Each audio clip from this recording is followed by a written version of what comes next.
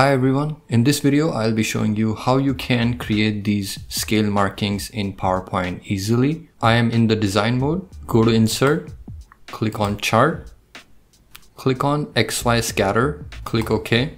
Let's say we want to create scale markings that go from 0 to 100 for both vertical and horizontal axis. First, let's do that for vertical axis. So double click on the vertical axis. On the right hand side, in the maximum bound, enter a value of 100 change the minor units to 1 because we want a marking for every single unit. So we want a marking for 1, 2, 3 and so on. Then twirl open this option for tick marks. Under major type drop down box, select outside and for minor type, select outside as well. Let me zoom in we have these markings here. However, they are too small right now. To increase them in size, click on the vertical axis and increase the font size to something big, say 32. Once we do that, our scale has changed. So we'll have to go back and fix it. Change the major units back to 10.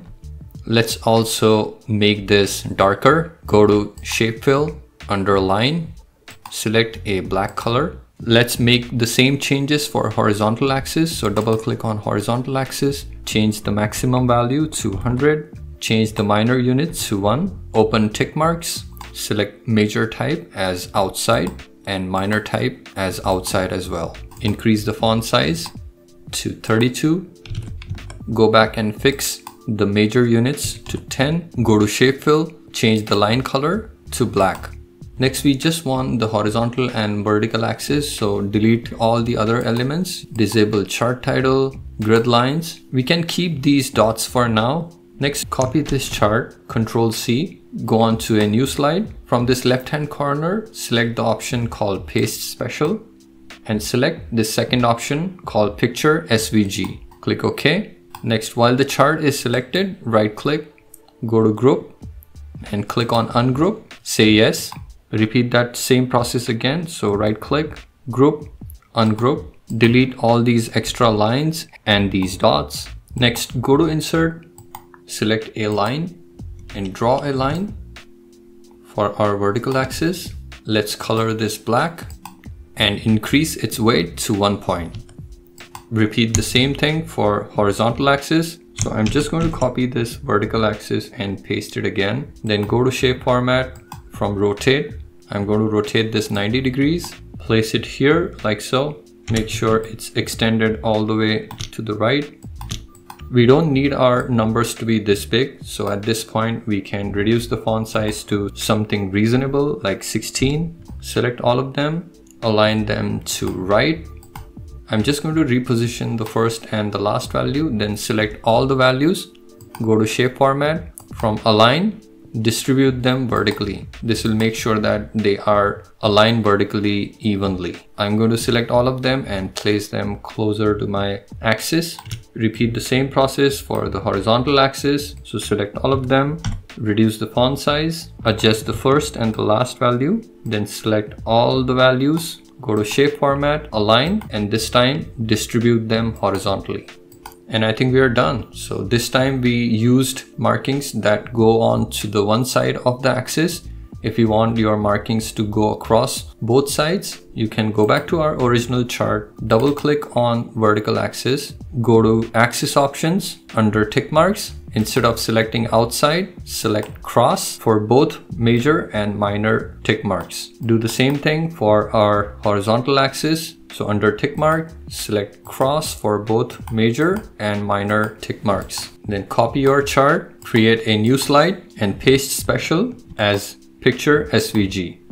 Ungroup it twice. So I'm pressing Control Shift G on my keyboard. Click yes. Do that one more time. Control Shift G. Delete all these extra shapes and these dots. Reduce the font size for our numbers. Align them properly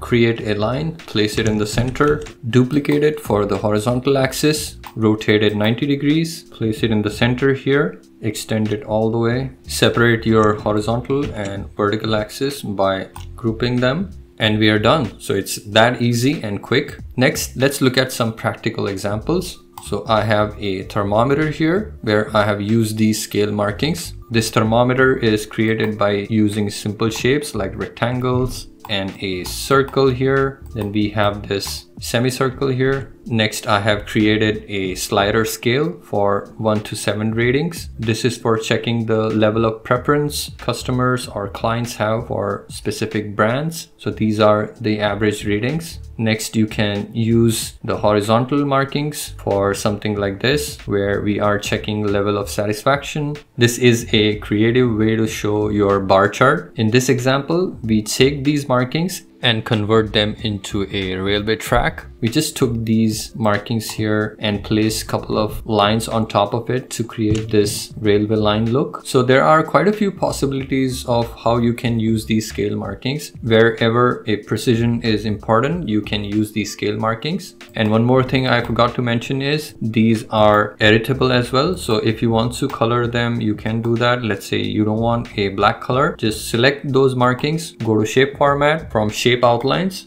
pick any color and you are good to go. So any formatting that can be applied to a line can be applied to these scale markings. So it's flexible from formatting point of view as well. So this was a short one. I hope you give this a try. If you found this useful, please leave a like and subscribe for future videos and I will catch you next time.